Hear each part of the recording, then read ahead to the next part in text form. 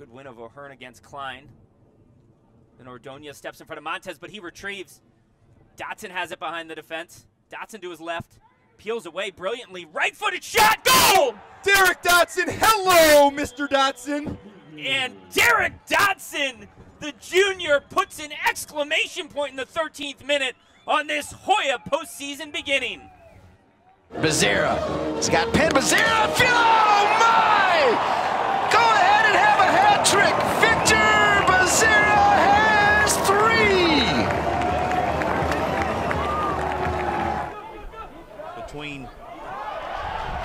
Bale and now Gunnarsson.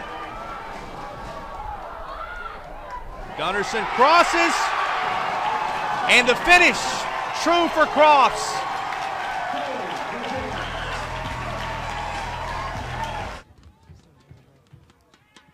Comes in, headed toward Tekeski, and somehow it's in the back of the net. Look to be Milo Yosef, and if so, his 12th of the season. A look at the replay, and it is Yosef.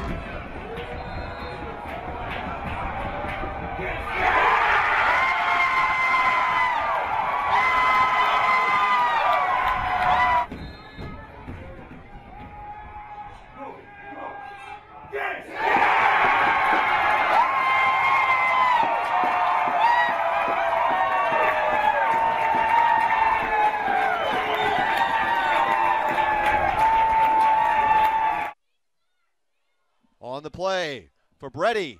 In the box for Brady. For and a goal. Will Bainham with the left foot. 15 yards out, just underneath the crossbar. But now it's Louisville on the break. Louisville with Fonseca over the top to Jennings. Jennings stays on side. Jennings through on goal. And it's in. And the crowd is dead silent here. Jennings. Nick Blacklock is very versatile. He can play wherever on the Here's a pitch. counterattack for Virginia Tech. Looking for their fourth goal of the day. They've got it! Goal Virginia Tech. Cameron Lennon puts the Hokies ahead by three goals at Thompson Field. from the first half. Uh-oh, Chol into space. Control. He does it! Another goal for Wake Forest. It's 2-0. Woo! Look at that celebration. Machop Chol jumping into the crowd. enhance the training atmosphere for St. John's with the two goalkeepers. Moving inside, this one set back post and into the back of the net. Skage Simonson. Oh, the on ball play, the footwork, and firing it to the back post. St. John's has a 2 0 lead late in the first half here in Queens.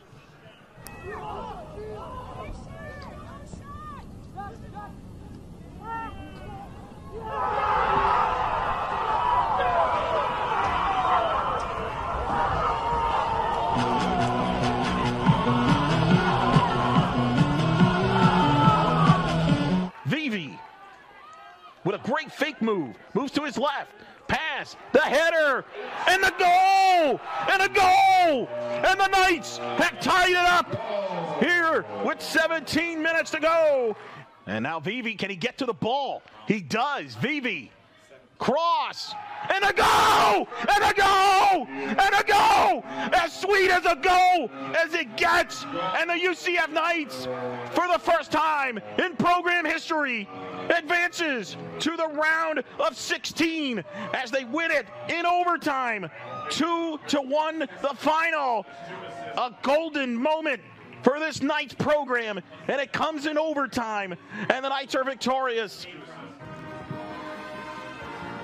Well, given the number of ACC teams that get bids, the deeper you go in the tournament, Chances the odds I think you're going to see someone, right? Robinson so quick, working through Oh, defenders, my, and he scored! from Robbie Robinson. And that was going to take something special for Panico to keep that one out. Feed to the right, Russell back toward the middle, Barber, and, And the that's a goal goal! for the winner! Sudden victory winner from Grayson Barber. It bounces free and he smashes it home into the far corner. What a finish. But still, in the attacking third, the Huskies. Look at that ball! Just an absolute perfect service, and Bodily shoves it right past the keeper, slots it home 1 0. Cabrera stolen by Hernandez. Costa to Hilt. Hollander with a shot, save. And Garrett McLaughlin with the rebound. That's the game.